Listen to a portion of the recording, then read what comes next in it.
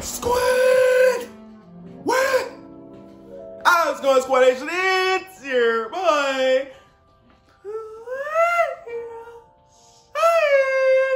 And today we are back with another Dragon Ball Z Budokai Tenkaichi discussion video. Bro, I, I know, I know, you're probably like, bro, play, get to look at some, get to, oh, look, look, look. I'm sorry, but you guys gotta understand. I am hyped! Bro, ever since that announcement trailer dropped, all I've been thinking about is Budokai Tenkaichi 4 and all this other stuff like that, bro. I am so, you don't understand. I am hyped. I am hyped. And I actually got some information and possible speculation about the Budokai Tenkaichi 4 game. Now, keep in mind, this is all speculation, but these speculations, I guess you could say, are backed by facts and, and stuff like that. So, but keep in mind, this is all speculation. Take it with a grain of salt.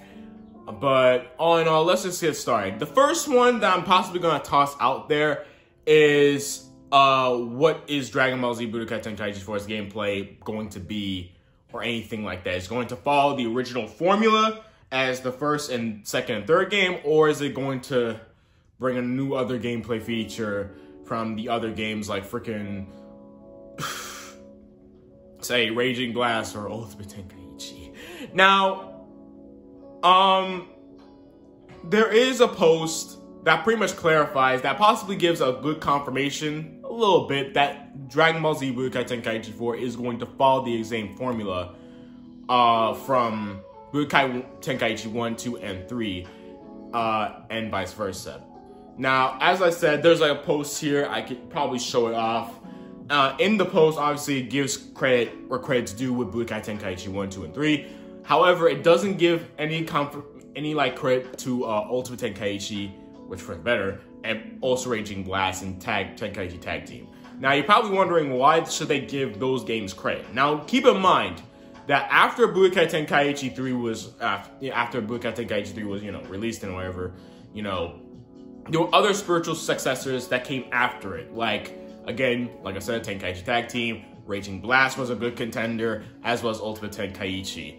Now, everyone was a little bit worried when Budokai Tenkaichi 4 was released. Some worry and doubt was brought into people's minds because they might, because people thought thought that the the, um, the gameplay was going to resemble of Ultimate Tenkaichi. Because remember, Ultimate Tenkaichi when it when it first got revealed and announced, it was it was beautiful. It was the graphics were freaking amazing. It was manga style, like art style, all that. It was a freaking amazing. But when we got to the gameplay, it was doo doo water. It was basically a rock paper scissors match from beginning to end. But with this, I guess again, like I say, take it with a grain of salt. But basically, without uh, Ultimate Tenkaichi even being mentioned, or even Raging Blast, and just Budokai Tenkaichi 1, 2, and 3, then, for for better for for lack of better words, Budokai Tenkaichi 4 will follow the exact same formula as you know its predecessors, which is three, two, and one. So that's pretty much number one. That I'm just gonna be basic. That basically just tossed out there. My second thing, which possibly is going to be a bit of a stretch, I'm not gonna hold you. it might be a stretch.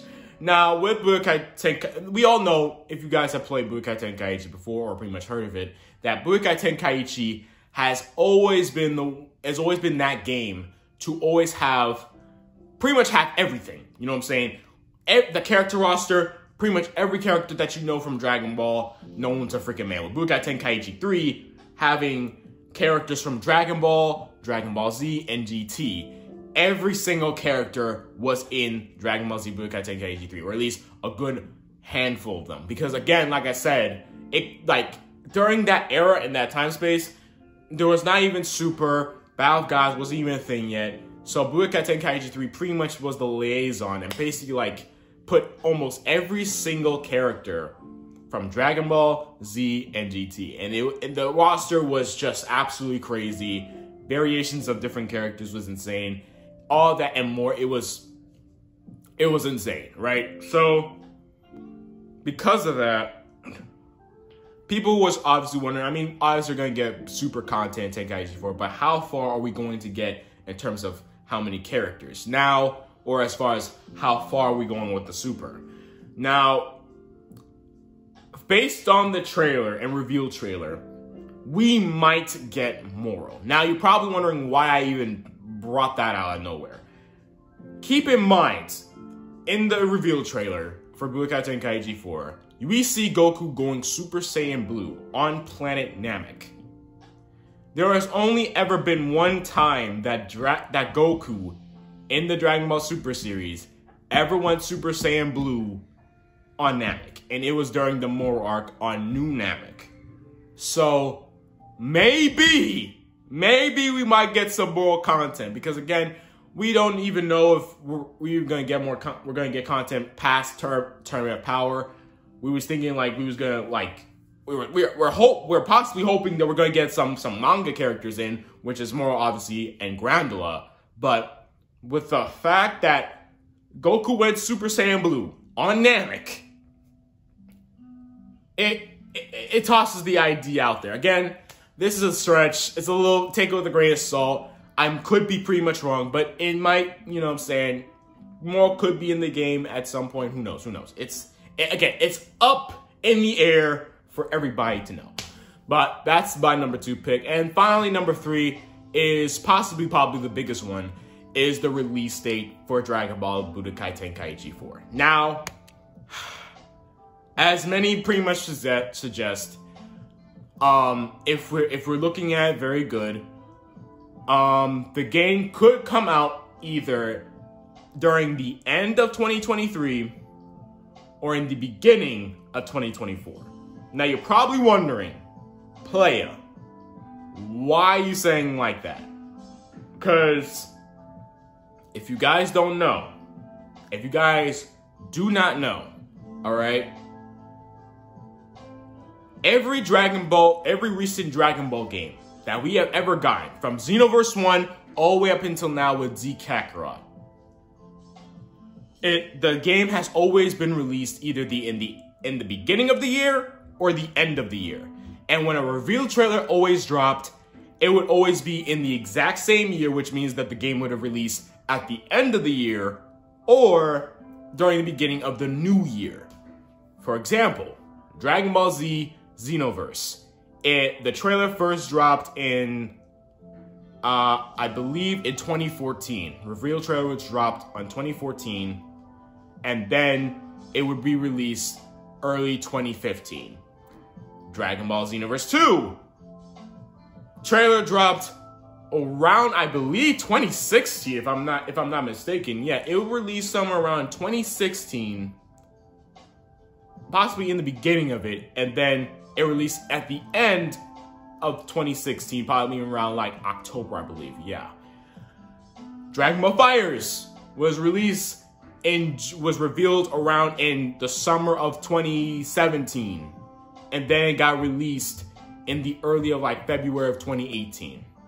And Dragon Ball Z Kakarot was uh, the trailer was released on 2019, and then was later released for 2020 again, it, like I'll probably like drop like, you know, some like the dates for like, you know what I'm saying, for each game of when the trailer first, like the trailer, the first reveal trailer was first released and the, um, where, where the game actually got released. So God, I, I forgot. Dragon Ball The Breakers. Oh my God. I forgot that game even freaking existed. I'm not gonna hold you, but that game was announced in November of 2021 and then was released in October of 2022. So again, like I say, it still stands, you know what I'm saying? It still stands that, you know, even with a game as that, okay, a game that's pretty much, a, it, it's basically just forgotten about at this point. Like, I don't really, I don't think anybody really like cares for that game. But even that game even followed the whole, like, you know what I'm saying? The whole like released date schedule. So, I mean, hey, this is a, this is good. This is some some good strong, you know what I'm saying, evidence here. So maybe Dragon Ball Z Budokai Tenkaichi 4 could release either this year, during the end of the year, or it could release the beginning of the new year. But all in all, my hunches probably would say, and this is just a strong hunch, this is a good gut feeling that I got. Dragon Ball Z Budokai Tenkaichi 4 probably is going to be released around the end of 2023. Because if you really think about it, Dragon Ball Xenoverse 2, if you if you if you peeped all the games that I've pretty much talked about from the release dates, uh, from when it was first revealed and vice versa. Xenoverse 2 was the only game, the only game that was revealed in the same year and released on that exact same year as well. So, who knows?